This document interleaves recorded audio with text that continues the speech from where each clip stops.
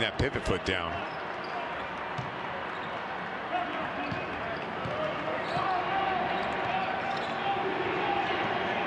Beal pulls up for three. Wow.